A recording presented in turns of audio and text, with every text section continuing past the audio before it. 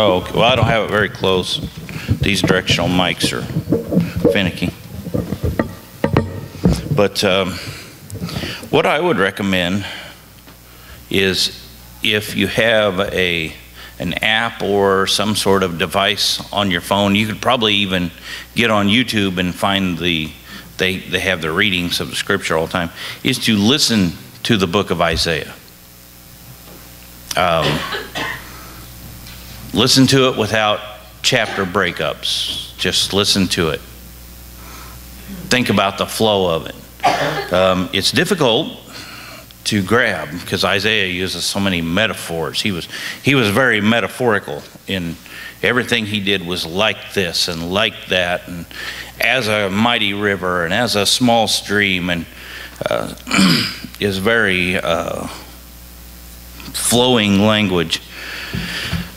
But you'll get the feel for it if you listen to it rather than try to read the breakups. um, so, we'll be in chapter 7 this morning. Chapter 7, 8, 9, and no, 7, 8, and 10, hopefully. Um, all right, so what we're going to do in this next portion, um, I've, I've, been in a, a great struggle, Brother Steve, because I would like to, as I study it, part of me wants to just walk through it verse by verse, thought by, I mean, just just walk. But I don't know that that would be as beneficial as the way we're doing it, taking large chunks of it and seeing how the themes flow through it. So, 7 through 10, um, I think we'll take in two parts. The first part is going to be basically um, we're going to focus on what is actually happening and um, the Lord's role through it all. And then possibly next le- lesson I get into, we're going to jump back into it, grab the messianic themes, and then I would like to tie in chapters 11 and 12 with that at the same time, and chapter 9. Um, so that's kind of the idea of where we're going. It's uh, uh, the book of Isaiah is not doesn't lend itself to chapter and verse like the epistles do, Brother Steve. It just doesn't. Um, so, having said that, let's jump into chapter 7, verse 1. Excuse me. Chapter 7, verse 1. I don't, um, I think we'll just read. I don't know if I read the whole thing. I may just not even read a whole lot of it at all. And it came to pass in the days of Ahaz, the son of Jotham, the son of Uzziah, king of Judah, that Rezin, the king of Syria, and Pekah, the son of Remaliah, king of Israel, went up uh, toward Jerusalem to war against it, but could not prevail against it. and it was told the house of David, saying, Syria is confederate with Ephraim. Um, you'll notice through the prophets a lot of times, and uh, sometimes in Kings and Chronicles, that when they say Ephraim, that kind of includes all of Israel. That's just the name they, they throw at it. Um, and now he's talk, it was told to the house of David. Now, this is an important statement. And his heart was moved, and the heart of his people, that's the house of David, that would be Jerusalem, uh, as the trees of the woods are moved with the wind. And, uh, and now,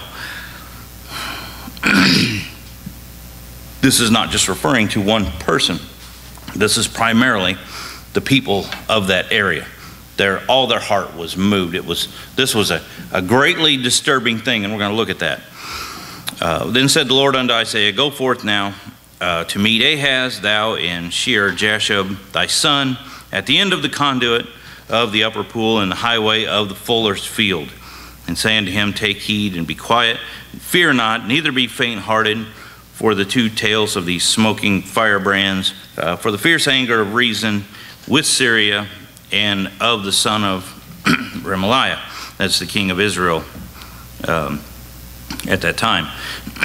because Syria, Ephraim, and the son of Remaliah have taken evil counsel against thee, saying, Let us go up against Judah and vex it, and let us make a breach therein for us. Uh, they're going to break into uh, Jerusalem and set a king in the midst of it, even the son of Tabiel. And I'm not sure who that is. No one, I think, is really terribly sure who that is. But we know that it's not who God chose to be king. Uh, thus saith the Lord God. Uh, now, these, there, there's an important thing to keep in mind as you read through these things that we don't think about often because we're Westerners. And Ron, we have elections, and elections have consequences, right, Brother Steve? I think Obama said that. Anyway, and so our, our, our entire thought process of, is one uh, that is completely different than what they would have thought about. Their concern here is the continuation of the house of David. That's who God made the covenant with. That's where the Messiah is going to come through. That's the one that's going to deliver God's people all the way through the history of the Jewish nation. That, that's, that's a big deal. um, that's, that's the one that walked to Calvary, Brother John. It's, it's, a, it's a bigger deal to them uh, than, than we realize. so, uh, where did I leave off? Thus saith the Lord, verse 7 It shall not stand, neither shall it come to pass. For the head of Syria is Damascus, and the head of Damascus is Rezin. And within three score and five years shall Ephraim be broken, uh, that it be not a people. And the head of Ephraim is Samaria, and the head of Samaria is Remaliah's son. And if you will, now here's a very important statement. If you will not believe, surely you shall not be established. Moreover, um, let's stop right there. I'm not going to read verse 10. We're going to stop right there, I think.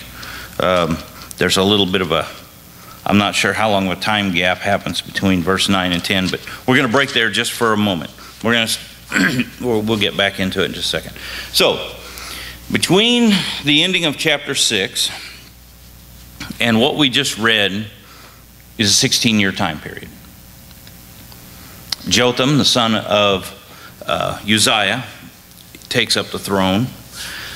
Uh, from all indications, he was a good, godly man.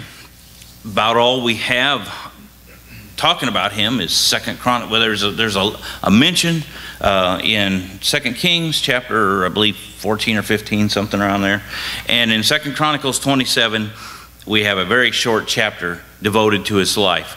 For some reason, Brother Steve, that 16 year time period, the Lord just didn't want us to know a whole lot about. Because Isaiah doesn't even mention it. During that time, uh, there has been political unrest in Israel.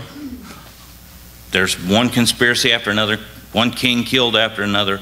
And as we come into Ahaz's day, there's a man uh, who is named Pekah, the son of Remaliah, as king. Uh, Rezin is the king of a little nation, uh, a, a, regional power named Syria. Uh, they have joined themselves in a confederacy in a bid to overthrow the southern kingdom of Judah.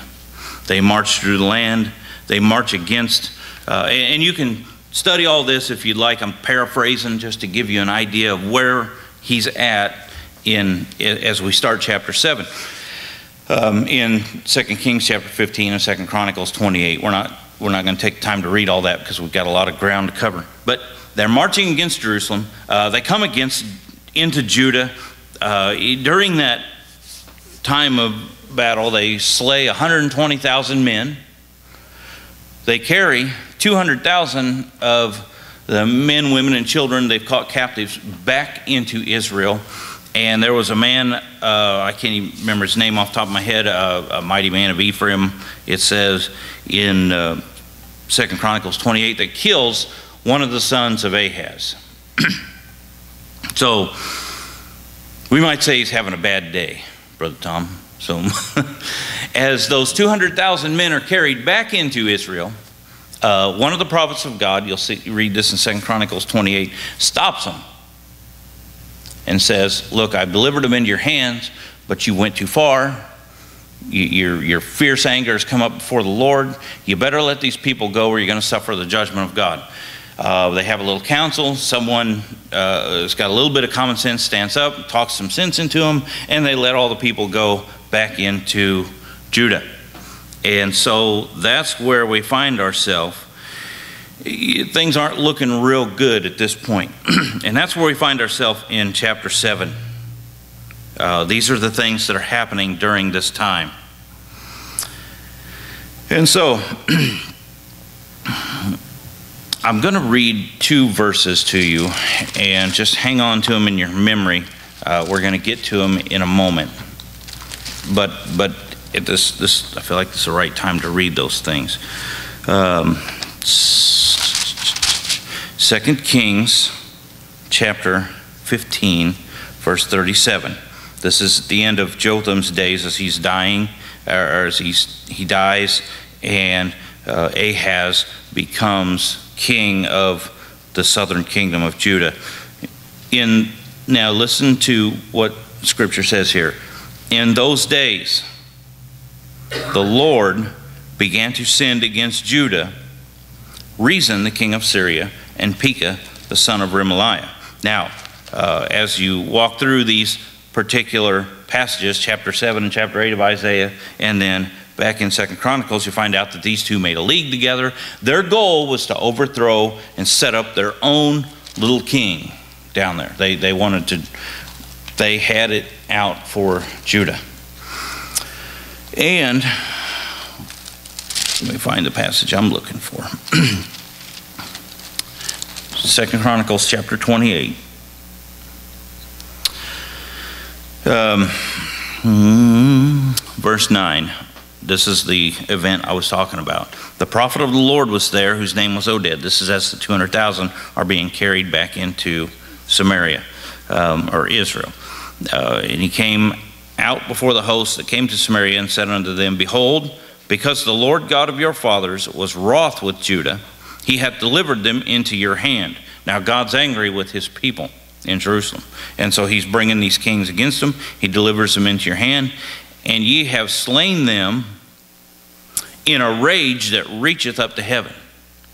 These men are fiercely angry. And now you purpose to keep under the children of Judah and Jerusalem for bondmen and bondwomen unto you. But are there not with you, even with you, sins against the Lord your God? He's, he's just confronting.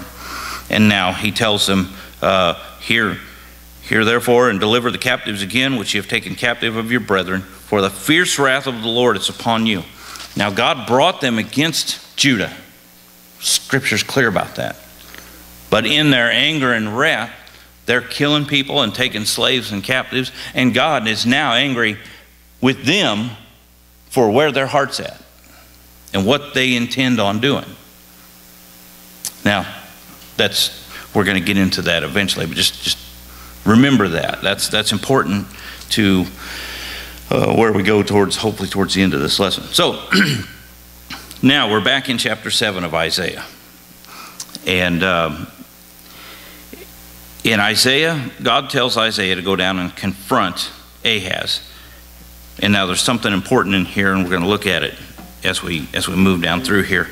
And uh, he takes his son Shear Jashub, um, Gary, that's, that's a good name for your firstborn, Shear Jashub. But God, remember, we looked at that passage in chapter 8 where he talked about his, his family was for signs uh, to Israel. Shear Jashub means uh, a remnant is going to return, a remnant shall return. Uh, that's, that's the literal meaning of the name. and he says, uh, he tells him to go down to a specific place the end of the conduit of the upper pool in the highway of the Fuller's Field. Now, I had no idea, other than from where, other than reading scripture, Brother John, I've never heard of a Fuller. Having studied scripture, I, I know what a Fuller is. I'm assuming that's a pretty old term. Brother Steve, did they have Fullers when you were a kid? Like your cup was fuller than your brother's? a fuller was someone that uh, whitened clothes, bleached them, uh, made them. What's that? They had one. They had a fuller in town. Cleaners. So a fuller was someone that cleaned and, and scrubbed the clothing, I guess, made them, made them clean and pure. Um, so Isaiah is instructed. Now remember in chapter 6, this, and I'm just, I'm only pointing this particular passage out because I want you to see, uh, uh, I'm trying to, to highlight the themes, the, the, the way the book of Isaiah unfolds. I'm not going to do, do this for every single passage, but I want you to pay close attention to this because in chapter 6, he was told, Go tell this people, hear ye indeed and understand not, see indeed and perceive not, make the heart of this people fat. Uh, make their ears heavy, shut their eyes lest they see with their ears, hear with their uh, or see with their eyes, excuse me. It'd be interesting see with your ears. See with their eyes, hear with their ears, and understand with their heart, and convert and be healed. God gave him mission. Go, and, and we looked at the principle behind all that when Jesus confronted the Jews. Because I tell you the truth, you do not believe. And so, house of David, it's real important. That's the covenant family. That's, that's the line the Messiah is coming through. he takes, they're all in an uproar. Ahaz, all the people of the area, because at this time, Pekah uh, uh, and Rezin are coming against them. There's a conspiracy. Uh, they're, they're, I mean, the intention is to overthrow the king of Judah and put someone on the throne. That's the intended purpose of this war. So, Judah, being much smaller than Israel, naturally is he's fearful. Brother Steve, his his literally his kingdom, his kingship, his family is at jeopardy. And for all practical purposes, it looks like he's probably going to lose. I mean, if you have 120,000 of your best soldiers killed and 200,000 people, that's 350,000 just yanked violently out of your kingdom. It's not looking too promising, Gary. It's, it's, it's where he's at. And so Isaiah shows up with his little son at a certain place with a certain message. And we got to ask ourselves what's the significance of all that? Why, why in the world would God do this, Brother Nathan? Uh, that doesn't make a whole lot of sense to me. But the more I studied it, the more I understood it. Now, the name of his son, a remnant shall return. If Ahaz was smart enough to pick up on that, and I'm, I'm assuming he was, He's probably even more nervous, Ron. What do you mean a remnant's going to return? the rest of us going too? And Isaiah meets him. Look at the location that he meets him in. His message is take heed and be quiet. Fear not. He's obviously afraid. It said their heart was moved like the wind. These smoking firebrands, God's big enough to take care of them. That's what he's saying. They're going against Jerusalem. They want to. Verse 7, he says, Don't, don't, thus saith the Lord, it shall not stand, neither shall it come to pass. And he goes ahead and tells him what he can do to it. And he, and he gives him, he confronts him in verses 10 and 11. Uh, and we didn't read those, but he says, uh, and we're going to as we walk through here, but I wanted to lay this foundation. Um, ask a sign of the Lord thy God. Ask it either in the depth down as low as you can go, or in the height above. Ask if the, the prophet comes to him and tells him clearly, God's del- God can deliver you easy. Now ask a sign that's going to be just visible. Brother Steve, I'd have said, all right, we'll see something real here. Make, uh, make the sky turn red with purple polka dots and stripes running through it, Brother John. I want to know that the Lord has spoken to me. I want, he had the opportunity here to get whatever sign he wanted, and God would prove to him he was going to deliver his people. So Isaiah shows up. He's got his son, remnant shall return. And look at his location at the end of the conduit of the upper pool. Now, remember what I said, or what, Isaiah said, or God said to Isaiah, what we read in chapter 6. You're going to show them, but they're not going to see or understand. A remnant's going to return, Brother Tom. He's at the end of the conduit from the upper pool. What comes from the upper pool through a conduit? Water. Water from above is coming down to him. Where's he standing? He's at the highway to the fuller's field. What's the fuller do? Well, he washes it pure. He'll wash it clean, Brother Steve. That water's coming down the conduit to the remnant that's going to return on the highway to being washed clean. Now, you'll notice all the way through the book of Isaiah that highway passage is it keeps coming up. Well, there's in in Isaiah chapter 35. See, I got excited studying all this. That's why I said I wish I had four hours. This is great stuff. In in chapters uh, or in chapter 35. verses 7 and 8. Look what Isaiah says as he's preaching in this. And the parched ground shall become a pool, and the thirsty land springs of water. Well, where's all that coming from, Brother John? Well, from the pool up above, down the conduit. In the habitation of dragons, where each lay shall be grass with reeds and rushes. All this dead stuff around here, it's going to start growing again. There's going to be some life in it. Oh, and look at what he says in verse, and what's going to be there? A highway shall be there. Well, what's that highway going to do, Brother Steve? Well, it shall be called the way of holiness. The unclean shall not pass over it, but it shall be for those, the wayfaring men, though fools shall not err therein. This highway, it's the way of holiness. It's the way of cleanness. See, Isaiah brings this theme all the way through his book. And, and so here he is with he's picture preaching to Ahaz that uh, even don't don't fear. Don't be afraid of all this. Even though it looks like certain destruction's coming, there's going to be some left. There's going to be a remnant saved. They're going to be on their way to holiness, on this highway to the fuller's field. He's, he's picture preaching to him. He's made to see, but he didn't see. It kind of reminds you of the parables that Jesus told to the Pharisees. Those parables were proof text by that little passage there in Isaiah. Going to make them see, but they won't see. Going to make them see how that is beginning to unfold in Isaiah's message towards these guys. So, then we have here in verse 9 the statement If you will not believe, surely you shall not be established. And now, as we work through the rest of this passage, you can see what he's talking about.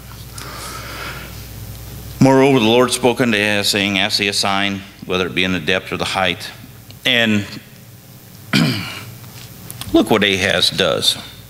He plays, he plays spiritual like most good God deniers do. I will not ask, neither will I tempt the Lord. I'm not going to tempt the Lord, Nate. I'm above that. You know why? because we find out in Second Chronicles chapter 28, he looted the temple, took all the gold, and sent it to Tiglath-Pileser, the king of Assyria, and begged him for help.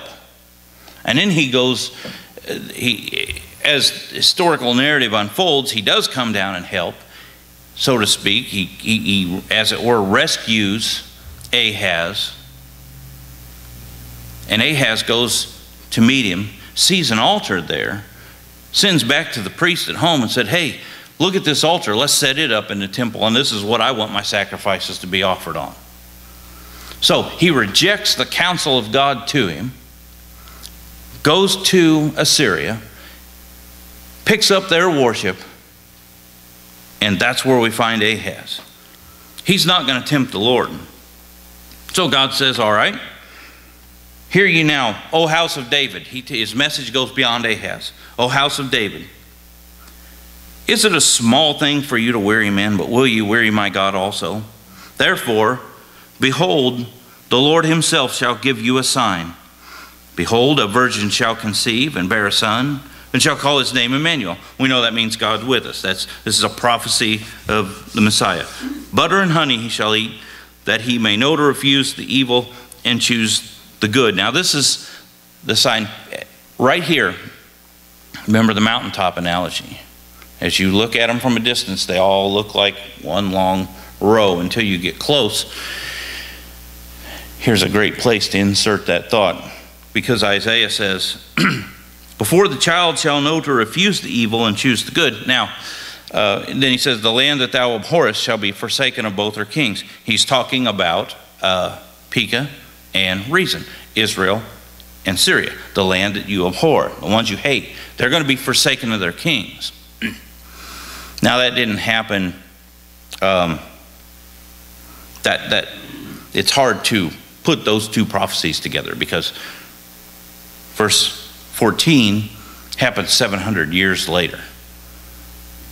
Now, technically, I guess you could say before Jesus was old enough to refuse the evil and choose good, that the land was forsaken.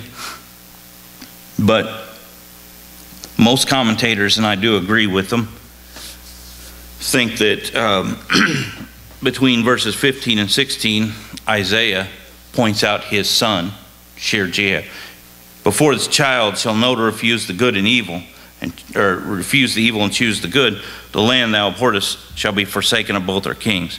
Uh, the Lord shall bring upon thee, and upon now he turns his attention to Ahaz. Remember what he said in verse 9 If you will not believe, you shall not be established. The Lord shall bring upon thee, and upon thy people, and upon thy father's house days that have not come from the day that Ephraim departed from Judah, uh, talking about back in Solomon or uh, uh, Rehoboam and Jeroboam's day, even the king of Assyria. Now, who has he gone to for help? The king of Assyria. Now, this is a lot of historical data, and I, am trying to not to overload everyone because we gotta we gotta move fast. I don't have much time. and if you study down through here, you're going to find out that basically what the Lord is saying to him is, by the time the king of Assyria gets done with you, you're going to have uh, where you had thousands of vines, there's just going to be uh, brambles and thorns. And there's going to be a few people there, there's going to be a remnant, and they're just going to have a cow and a couple goats, and they're going to eat the bread and, and or they're going to eat butter and milk, and they're going to kind of live on what they got. But all this good stuff you got is going to be gone. The Assyrian king's going to take care of all this. it's going to make a mess out of it. And then, so that brings us into chapter 8.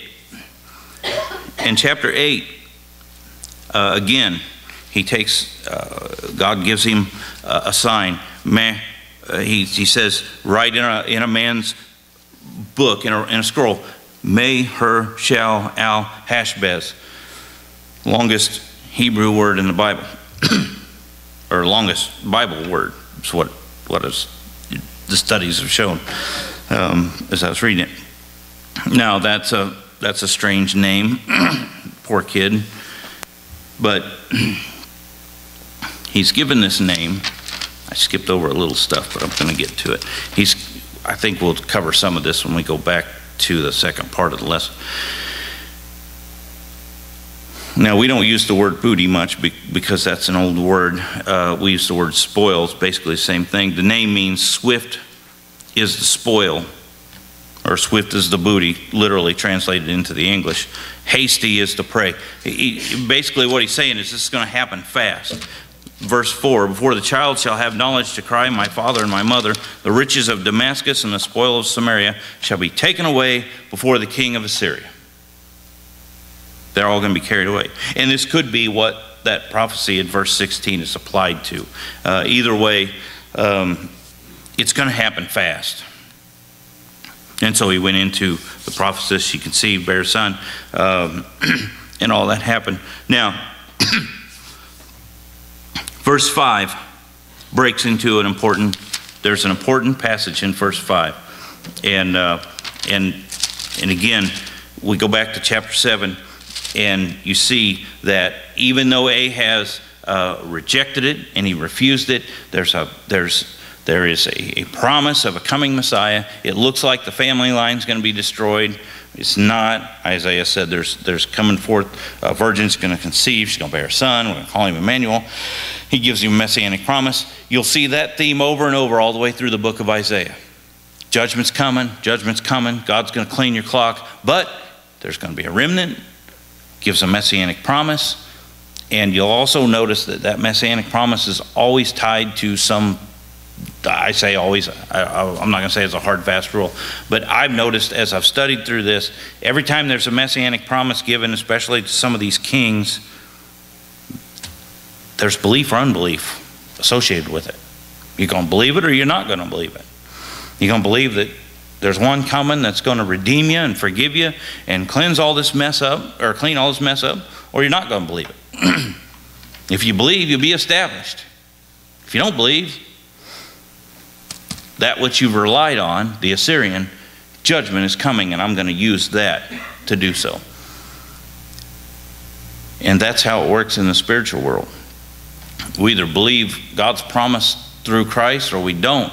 And our, we'll get the fruit of our own sin if we reject the gospel. And that's another aspect we'll try to get into eventually is that what Isaiah often spiritualizes what is happening physically and ties it together. So there's just almost too much in here to study. So in chapter 8, verse 6, he brings, he's prophesying judgment upon Israel. Now, think back. Here's where I talked about him using analogies. For as much as this people refuseth the waters of Shiloah that go softly, talking to the people of Israel. That's who he's referring to, those of Samaria and Damascus. They refuse the waters of Shiloh that go softly and rejoice in Rezin and Remaliah's son. Rezin, the king of Syria, uh, Pekah, the son of Remaliah. They're rejoicing in those. They refuse the waters that go softly. What did they want to do? They wanted to overthrow the house of David and set their own king up. What's the house of David associated with? The messianic promise. What do people want to do every day in their own lives? They want to overthrow everything that God has promised and set themselves up as king. This is, draw the analogy all the way through this. so, for as much as they've rejected the promised Messiah, family, all that, they want to overthrow it, they want to set up their own king, they've rejected that. Now, therefore, behold, the Lord's going to bring upon them, verse 7, the waters of the river, strong and many even the king of Assyria and all his glory, and he shall come up over his bank, over his channel, and go over all the banks. God's going to bring this river on them. You've rejected the soft stream of the Messiah. Fine, here comes the flood of judgment. That's what's coming. Come on in and sit down, Bill. Sneak in. We, I try not to point you out, all right? I try not to embarrass you. I don't embarrass guys. I don't like to embarrass guys bigger than me. So, all right. So God's going to bring upon them uh, the Assyrian, the judgment. Hmm. I'm going to skip a bunch of stuff because I want to get to chapter 10 real fast. How much time do I got? I got 10 minutes. All right, I'm skipping some stuff because um, basically those things apply Isaiah repeats his theme over and over again through this. All right, that brings us to chapter 10. and we're going to read, the, uh, let me read the, we're in Isaiah chapter 10. Verse 1 Woe unto them that decree unrighteous decrees. Now, and that write grievousness which they have prescribed to turn aside the needy. Basically, he's rebuking those that write unrighteous decrees, un, unlaw, ungodly laws that, that do what he's doing is comparing and contrasting, and we'll get into it. I'm going to skip a lot of it because I'm getting down to verse 5. He's comparing and contrasting what men do to what God does. And now remember the two verses we read about in uh, in Second Kings chapter whatever it was in Second Chronicles 27 I think or 28 where God said he sent those two kings against Judah. But then when they plundered Judah because for judgment he was judging Judah. And when they, when they, when they killed all them men and took 200,000 people back to Israel, the prophet rebuked them and said, Look, God give them into your hand, but your heart is wicked. You're killing these people. You've went too far. In a rage, you've done this. And God threatened to judge them for their actions, even though He sent them against Judah. He was going to judge them for the actions of their heart. This brings us to the theme that I want to get before we close, because you'll find this all the way through the book of Isaiah, is that the sovereign control of God over everything. Now, we've looked at the judgment on Ahaz because of his unbelief, and he turned to the Assyrian army. He gave them, he looted the temple, gave them all the money, and God has said, the Assyrians are coming against you, and they're going to leave this place pretty much desolate. It's going to be a, a pretty sad state of affairs. And here we have verse 5. Let's, let's just read it and walk through it. Oh, Assyria. Now, Isaiah is kind of, uh, you can see him just kind of, kind of going into this prophecy there. The rod of mine anger and the staff in their hand is mine indignation. Now, this is what God is saying about the Assyrian nation. You are the rod of my anger, and the staff that's your, in your hand is my indignation. I will send him, the Assyrian king, Tiglath-Pileser that we looked at earlier, against an hypocritical nation and against the people of my wrath will I give him a charge to take the spoil, to take the prey, to tread them down like the mire of the streets. Here's what God said I'm going to do. I'm going to give, I'm going to send him against my people for judgment, and they're going to tread them down like, like, like mud. Verse 7 Howbeit, he meaneth not so. The Assyrian king didn't get up in the morning, Brother John, and go, You know, I'm going to do the will of God this morning and go against Israel. He didn't do that. You know what he meant? Neither doth his heart think so. But it is in his heart to destroy and cut off nations, not a few. He got out of bed and said, I think I'm just going to take the world uh, and kill anyone in my way. Look what, look what he does. For he saith, Are not my princes altogether kings? Even the princes in my kingdom are kings. This is how good I am. This is how powerful I am. Is not Calno as Carchemish and Hamath as Arpad? Is not Samaria as Damascus? As my hand hath found the kingdoms of the idols, and whose graven images did excel them of Jerusalem and of Samaria. They got far better looking idols than Jerusalem's got. I mean, they got big golden ones, and I wiped them out. Shall not I, as I have done unto Samaria and her idols, so do to Jerusalem and her idols? I, I mean, Samaria's got much better looking gods than Israel or Judah's got, and I've wiped them out, so I'm going to go down there and take them too. This is what he's going to do. He's going to do. Th- he, I mean, he he had no idea. He didn't even care that he was being used of God. Wherefore, here's what God says about the whole thing, and this is why I brought up that those two passages from the previous event. Wherefore it shall come to pass that when the Lord hath performed his whole work upon Mount Zion and on Jerusalem, I will punish the fruit of the stout heart of the king of Assyria and the glory of his high looks. God's using him to judge his people and then going to punish him for the attitude and the wickedness and the ungodliness and the pride of his own heart.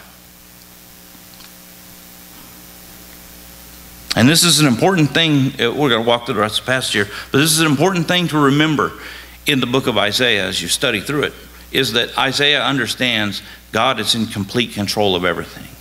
That is why he can say over and over and over again judgment's coming, God's going to wipe this thing out, but there's going to be a remnant, even when it doesn't look like there's going to be a remnant. Even when it looks like, uh, just like Ahaz, he's, he's scared to death.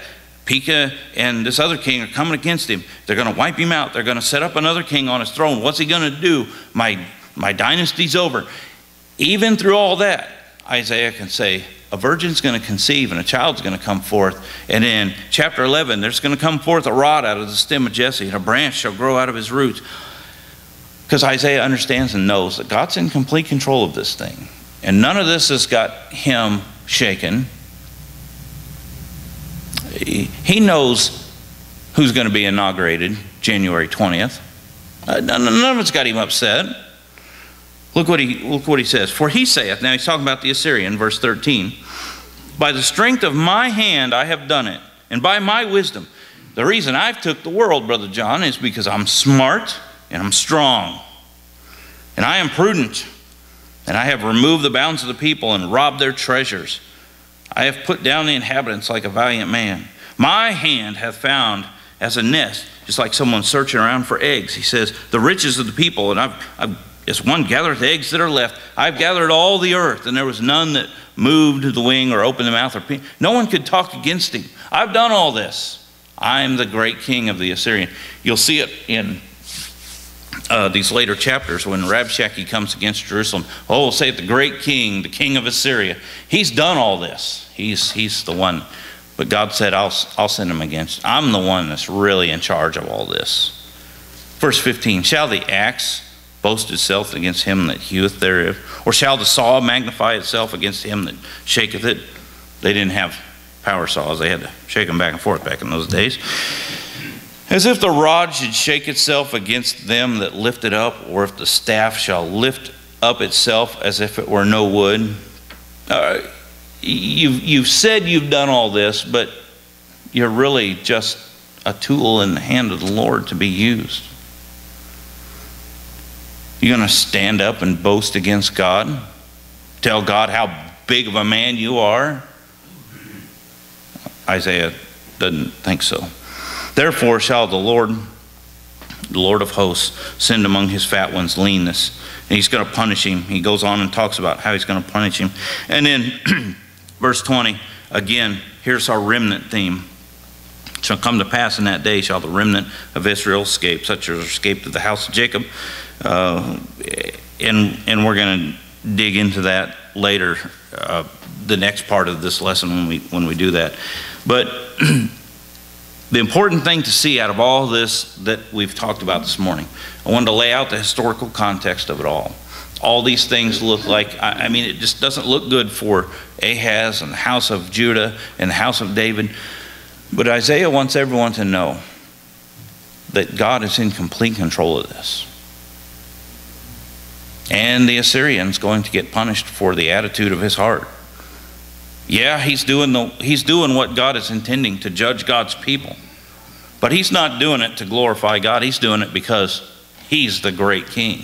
And he's going to do it. And he's going to do and he'll be punished for that too and that there's a remnant going to be left. This remnant idea keeps coming up over and over and over again and you'll see Paul grabbing that idea idea, excuse me, in in uh, Romans chapter 9 and Romans chapter 11, there's going to be this remnant. It's the elect, it's the ones that God is redeeming. There's these ones, and, and so that's another theme to follow all the way through. And, uh, but I wanted to lay that foundation for the next lesson. but like I said, Brother Steve, I wish I had about four hours this morning because there's a lot here. But we're going to stop there for now and pick up next time. We're going to backtrack and then grab chapters 11 and 12, and maybe a few more, depending on how far I can get. So, thank you.